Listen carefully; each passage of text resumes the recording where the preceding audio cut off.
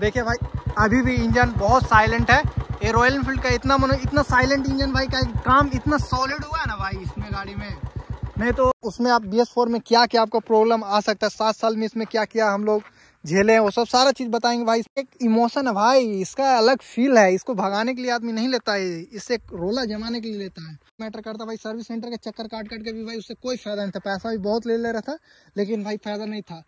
तो राम राम भाई, स्वागत है आपको हमारा यादन ब्लॉग में। तो भाई साहब आज यहाँ पर बुलेट का ऑनरशिप करेंगे, जो सात साल का ऑनरशिप करेंगे भाई। बी एस फोर है, जब बी एस फोर शुरू शुरू लॉन्च हुआ तो वही टाइम वो बुलेट लिए थे, उसका आज ऑनरशिप करने वाले हैं। तो चलिए भाई, आपको दिखाते पहले वो। तो ये है हमारे सामने भाई साहब टू व्हीलर का राजा, बुलेट राजा। तो भाई साहब इसका अभी ऑनरशिप करने वाले ही हैं। कर रहे हैं, करने वाले नहीं हैं, कर रहे हैं भाई साहब। इस सात साल में भाई इसमें क्या क्या खर्चा आया है क्या क्या है क्या क्या आप फेस कर सकते हैं इस गाड़ी में? तो ये 2017 मॉडल है भाई बी जो शुरू शुरू लॉन्च हुआ था भाई, रांची में पहला बुलेट था भाई, जो हम लोग लिए थे इसको। पहला था भाई, उसी दिन मानो लॉन्च हुआ था बी वही दिन स्टॉक से उठाए थे भाई। तो भाई साहब, उसमें आप बी में क्या क्या आपको प्रॉब्लम आ सकता है? सात साल में इसमें क्या क्या हम लोग झेले हैं? वो सब सारा चीज़ बताएँगे भाई, इसमें कैसा मेंटेनेंस है? सारा चीज़, अगर आप लो बजट वाला आदमी है तो आप इसको अफोर्ड कर सकते हैं कि नहीं कर सकते सारा चीज़ आपको बताएँगे भाई। तो चलिए, शुरू करते हैं भाई साहब। तो यह है रॉयल इनफील्ड का क्लासिक 350 मॉडल है भाई। इसका सीसी है, तीन सौ छियालीस C single cylinder engine air cooled है। इसमें 20 N M twenty eight N M torque है और 19.36 पीएस पावर है भाई इसमें। तो ये तो क्रूजर बाइक है तो भाई इसमें पावर उतना मैटर नहीं करता भाई। इसका एक दबदबा ही काफ़ी है भाई। ये दम, इसका रोला वाला भाई साहब। ये बाइक एक इमोशन है भाई, इसका अलग फील है। इसको भगाने के लिए आदमी नहीं लेता है, इससे रोला जमाने के लिए लेता है। चलिए इसको बता दे भाई, सात साल में क्या क्या इसमें दिक्कत आया। तो पहला बात तो भाई, इसमें शुरू शुरू कुछ दिन के बाद इसमें इसका बैटरी भाई का कि इसका लाइट इतना पावरफुल है ना तो इसका बैटरी पूरा डाउन हो जाता है। तो इसमें आपको सेल्फ का प्रॉब्लम आ जाएगा भाई। तो आपका बैटरी बहुत मतलब जल्दी एक ही साल के अंदर हम लोग को बैटरी चेंज करवाने पड़ गया। वहाँ तक ठीक हुआ भाई। फिर उसके बाद भाई, फिर सेल्फ से प्रॉब्लम देने लगा। तो सेल्फ के लिए भाई बार बार सर्विस सेंटर दौड़ रहा। सर्विस सेंटर में कोई उपाय नहीं भाई। पैसा भी ले रहा, वो लोग चेक करके बताता है। फिर बोलता है कि भाई, सही है। और आप फिर आइएगा दो तीन दिन बाद बाद, फिर गाड़ी वही हाल हो जाता था। तो इसका भाई स्टार्टिंग प्रॉब्लम हम लोग को बहुत झलाया, बहुत धक्का दिए स्टार्टिंग प्रॉब्लम के कारण। कहा कि भाई, इसका अगर बैटरी सही से आई मीन नहीं कर पावर एक्सपोर्ट नहीं कर पाता था। उसी में भाई दिक्कत हो जाता है। मानो इसका जो चार्जिंग पॉइंट था ना, उसी से प्रॉब्लम था। और जो सर्विस सेंटर उस चीज़ को फेस नहीं कर पा, उस चीज़ को सॉल्व नहीं कर पा रहा था। तो उसी में हम लोग बहुत भाई स्टार्टिंग प्रॉब्लम के लिए इस गाड़ी को बहुत झेले हैं। सात साल में यही यही गाड़ी में एक आया है कि स्टार्टिंग प्रॉब्लम बहुत दिक्कत दिया है। तो उसके बाद भाई हम लोग सर्विस सेंटर से भरोसा ही छोड़ दिया। फिर हम लोग गए भाई साहब लोकल मिस्त्री के पास, जो बहुत एक्सपीरियंस होते हैं, बहुत पुराना पुराना मिस्त्री रहते हैं। तो हम लोग रामगढ़ में एक मिस्त्री थे, जो बहुत पुराने, वो बस बुलेट का ही काम करते हैं। तो उनसे काम करवाए तो भाई। उसके बाद गाड़ी एक टना टन है, क्योंकि इसका भी हम आपको आवाज़ सुना देते हैं भाई। अभी भी एकदम नया टाइप का आवाज़ आएगा। तो इसमें तो भाई अभी सलेंसर लगा है तो इसका भी आवाज़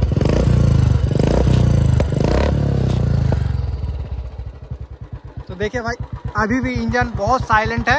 ये रॉयल एनफील्ड का इतना मनो, इतना साइलेंट इंजन भाई का काम इतना सॉलिड हुआ है ना भाई इसमें गाड़ी में? नहीं तो पहले इतना मनो वाइब्रेशन टाइप इतना आ गया था गाड़ी में कि ऐसा फील नहीं होता कि आप बुलेट चला रहे थे झंझनाहट आ गया था गाड़ी में। मैकेनिक भी बहुत मैटर करता भाई सर्विस सेंटर के चक्कर काट काट के भी भाई उससे कोई फ़ायदा नहीं था। पैसा भी बहुत ले ले रहा था, लेकिन भाई फ़ायदा नहीं था। तो आप अगर आप सर्विस सेंटर अब बुलेट लेते हैं तो सर्विस सेंटर का ज़्यादा चक्कर नहीं काटिए कहीं भाई। ये लोग को उतना नॉलेज रहता नहीं है, वो लोग बस एक्सपर्ट बोल देता है भाई, वो लोग बहुत झिलाता पैसा भी आपको अच्छा खासा ले लेगा और झिलाएगा भी अच्छा खासा। तो हम लोग तो भाई सर्विस सेंटर का इतना चक्कर काट लिए थे, तब भी फिर लोकल मिस्त्री से कनेक्ट किया। और लोकल मिस्त्री भाई इतना सॉलिड बने, अभी भी आप सुन सकते हैं कितना, हम लोग सात साल का ये गाड़ी है भाई, और इतना रिफाइन आवाज़ है भाई तो और क्या चाहिए? रॉयल फ़ील्ड है भाई अच्छा है। इसमें मेंटेनेंस उतना नहीं ज़्यादा है लेकिन अब सर्विस सेंटर अच्छा रिस्पॉन्स नहीं था उसके में हम लोग ज़्यादा इस गाड़ी को लेकर परेशान हुए हैं। तो स्टार्टिंग प्रॉब्लम तो इसका बहुत दिया भाई, और मेरा ही गाड़ी का ऐसा नहीं है। और वो भी ये बुलेट है। उसका भी उतना स्टार्टिंग प्रॉब्लम ये भी B six sorry B S ही है, लेकिन ये नया वाला उन्नीस मॉडल है। इसमें एवीएस सुबह से आता है, इसमें नॉन एवीएस है। नॉन एवीएस ऊपर से पीछे ड्रम भी रखा है। इसका थोड़ा सा बता, दिखा दे रहे हैं कि इसमें क्या क्या उस टाइम मिलता था और इसका कितना रेट था ऑन रोड प्राइस था रांची में। तो उस टाइम भाई इसको हम लोग लिए थे, एक लाख साठ हज़ार में लिए थे। ऑन रोड पड़ गया था हम लोग को। तो अभी ओला बुलेट जो लिया है वो एक लाख अस्सी हज़ार का तो उसमें आफ्टर एक्सेसरीज लगा के वो गाड़ी हो गया था दो लाख का भाई। तो उससे और इसमें बीस हज़ार का फ़र्क पड़ा था, दो साल में बीस हज़ार का फ़र्क पड़ा, लेकिन उसमें और बीस हज़ार का एक्स्ट्रा एक्सेसरीज लगाया गया तो उसका ऑन रोड ऑन रोड क्या बोले? ऑन रोड तो ऐसे एक लाख अस्सी हज़ार प्राइस पड़ा था, लेकिन उसमें बीस हज़ार का एक्सेसरीज था, उसके कारण उसका दो लाख पड़ गया था भाई साहब। तो ये गाड़ी में भाई आपको उस टाइम क्या मिलता था? एक लाख साठ हज़ार में आपको फ्रंट में डिस्क ब्रेक मिलता था रेयर में आपको मिलता, आपको ड्रम ब्रेक मिलता था, और ऐसे एकदम सिंपल वही रगेड लुक वाला भाई गाड़ी, एकदम और कुछ नहीं आपको मिलता, बस एक सीट कवर देता, एक फ्री में हेलमेट देता भाई। एक लाख साठ हज़ार में बस आपको नहीं मिलता। ये वही है भाई रिम है। अभी तक इसमें चेंज हुआ, ऐसा इसमें मॉडिफिकेशन नहीं हुआ गाड़ी में। बस एक मॉडिफिकेशन के नाम पे एक साइलेंसर लगा है, उसके अलावा और कुछ नहीं हुआ भाई इस गाड़ी में। एकदम एक नॉर्मल सिंपल लुक में है भाई गाड़ी। लेकिन अभी भाई एक बाहर से काम करवाने के बाद इतना सॉलिड हो गया ना गाड़ी भाई, इसका इतना अच्छा रिस्पॉन्स है ना भाई, एकदम सॉलिड लगता है। अभी भी चलाने में एक मज़ा आता है भाई साहब। इसका एक अलग रोला है भाई, इसको लेने का यही होता है भाई सबका। इसका सीटिंग पोजीशन पोर्सन भाई इतना सॉलिड है ना अभी भी आपको हम दिखा दे रहे फ़ोन पकड़ो तो।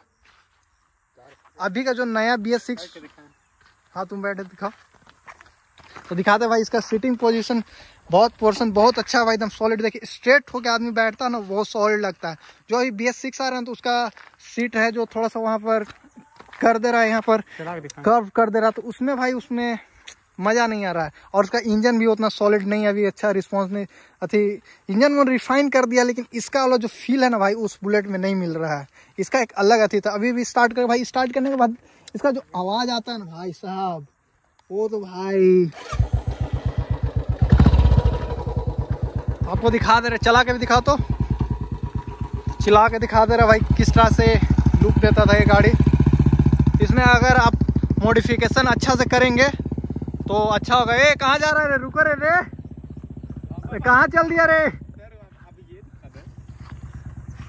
सात साल में यही प्रॉब्लम आया ना, उसमें स्टार्टिंग का प्रॉब्लम बहुत आया भाई। क्या है कि बहुत बुलेट वाले को देखो मेरे सर्कल में जो भी जान पहचान के थे, वो लोग में भाई स्टार्टिंग प्रॉब्लम तो ये चीज़ आप फेस कर सकते हो। उसका बैटरी अगर आप B S B S four लेंगे, कहा तुम अपना काय रोला जमा रहा? तुम इस पर रोला जमाओ।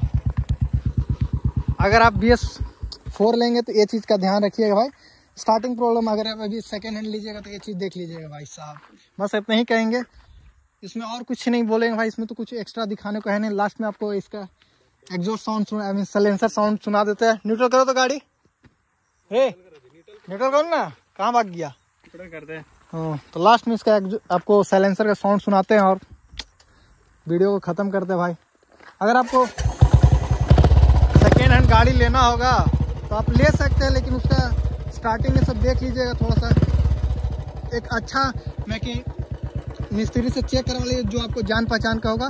सर्विस सेंटर के चक्कर में ना रहे भाई, वो लोग को उतना नॉलेज नहीं रहता। हम लोग वो लोग चलते बहुत झेले हैं, वो लोग सही नहीं रहता। तो देखते हैं आपको एग्जैक्ट साउंड सुना देते हैं।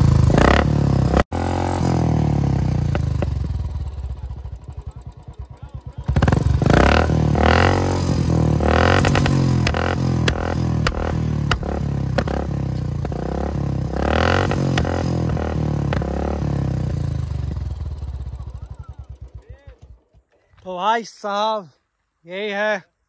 रॉयल फ़ील्ड का भाई, अब ये चीज़ नहीं करना चाहिए भाई, गाड़ी इससे इसका रिंग पिस्टन खराब होता है, लेकिन थोड़ा सा कर लेते हैं भाई थोड़ा सा सुकून आता है, इसलिए कर लेते हैं भाई साहब। तो चलिए, अगर मेरे वीडियो से आपको थोड़ा सा भी नॉलेज मिला हो तो आप मेरे चैनल को भाई सब्सक्राइब कीजिएगा कमेंट कीजिएगा लाइक कीजिएगा वीडियो को भाई, और सपोर्ट कीजिए। चलिए, यहीं पर अपने ये वीडियो को समाप्त करते हैं भाई साहब। मिलते हैं आपसे अगले वीडियो में तब तक के लिए राम राम जय श्री राम।